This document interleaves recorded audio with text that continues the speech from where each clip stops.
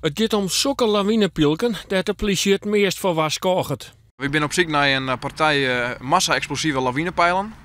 We hadden het idee dat uh, die partij wel eens in, het, in, ja, in Friesland of in ieder geval in het noorden voortgezet uh, wezen kan. We hebben vorig jaar een onderzoek draait en daar kwam uit naar voren dat er onder orde een grote partij massa-explosieve lawinepijlen naar het noorden van Nederland bracht weer. Bij de ziektocht naar de lawinepilken vreeg de politie elke een om eigen en eren iepen te houden. Ze kennen inmiddels verhandelen wijzen. Het zou best wijzen dat meestal een aantal van die pijlen thuis Maar het kan ik best wijzen dat die partij nog ergens leidt. Hoe gevaarlijk is dit? Nou, we hebben hier massa-explosief, dus dat is hartstikke gevaarlijk. Hè? Als er een vonkje bij komt, uh, ja, dan ontploft de hele boel. Maar ik had je eens een lawinepijl afsteken. Uh, die kracht is zo groot dat je gelijk een ledemaat kwijt binnen. De politie had hier in Friesland 1000 kilo illegaal vuurwerk in beslag genomen. Ook dit hier is er alweer een grote partij van 3000 kilo aantroffen.